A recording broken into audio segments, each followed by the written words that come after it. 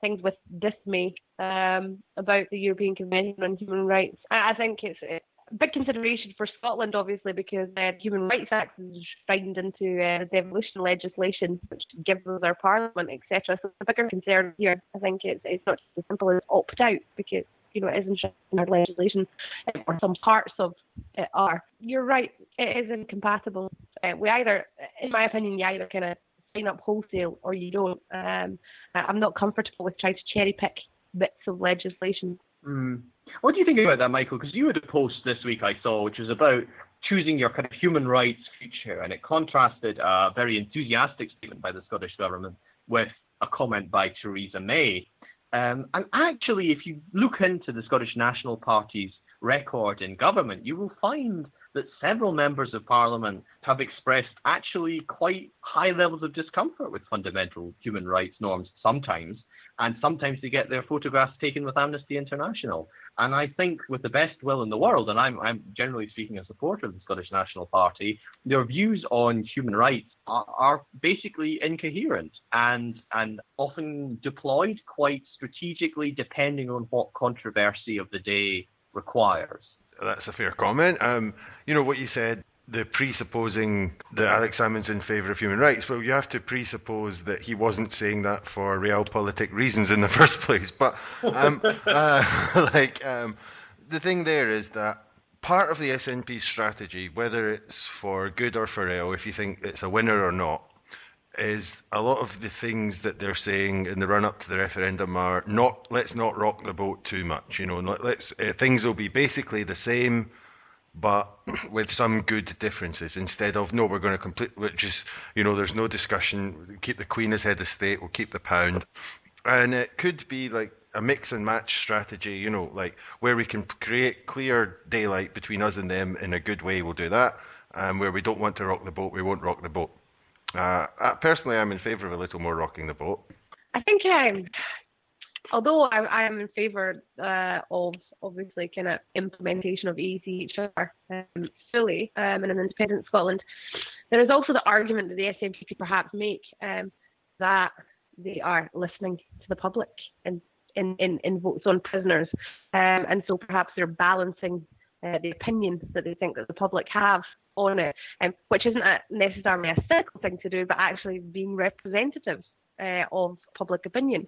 Yeah, there's absolutely a case for that. You could then mm. go. You could then go into. I know this is getting into quite dark territory, but you could then go into saying that a lot of the views on justice come from a fairly rabid right-wing media, and sometimes, and therefore it's kind of kowtowing to that a little bit. Mm, and I suppose that there is a slight problem with that logic in terms of current levels of support for independence. If the SNP on the constitution goes to where the public is, then then chances are they'd have to abandon this independence referendum altogether. Um, We've got an overall majority, Mr. Tickell. That's indication people want to have the debate.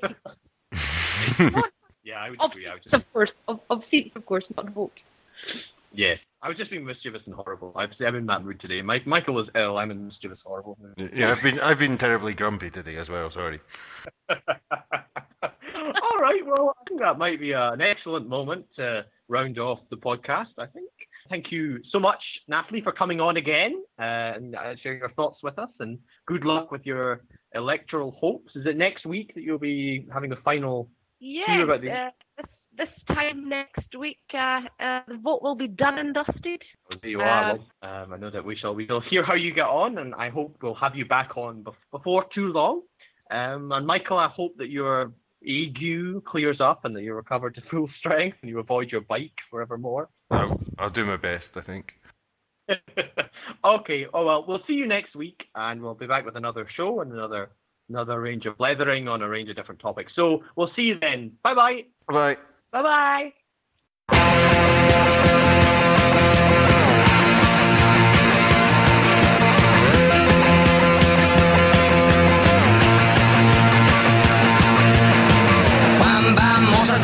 Sur mon lit à bouffer sa langue en buvant, mon whisky quant à moi, peu dormi, vie débris, mais j'ai dû dormir dans la gouttière où j'ai eu un flash.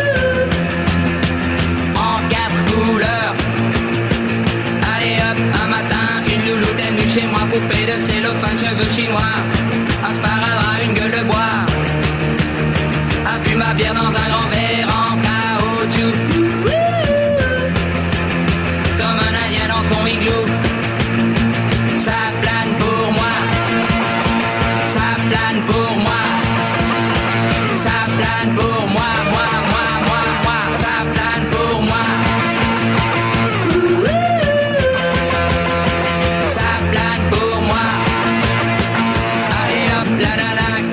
Quelle vibration de s'envoyer sur paillasson. Limé, ruiné, vidé, comblé.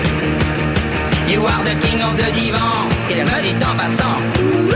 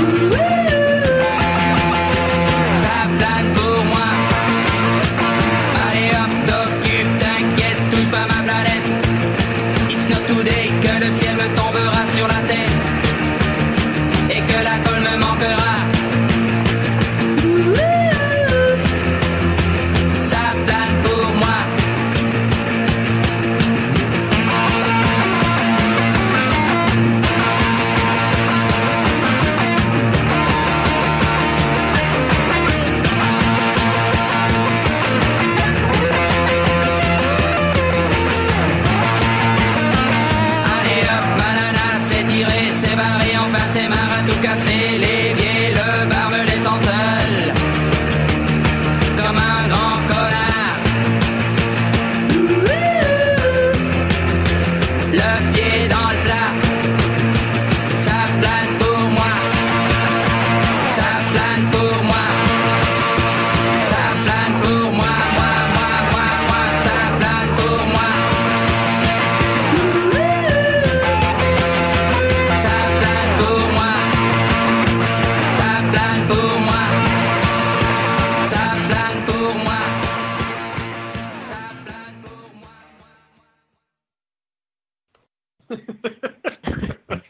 there you are. Listen, they're gonna, if, if we were regulated, we'd get a complaint in about your grotesque misrepresentation of their unnecessarily legitimate political grouping, and the government regulator would give you a spanky for that statement. Uh, you, you, Sorry, Nigel. sorry, I might cut that bit out.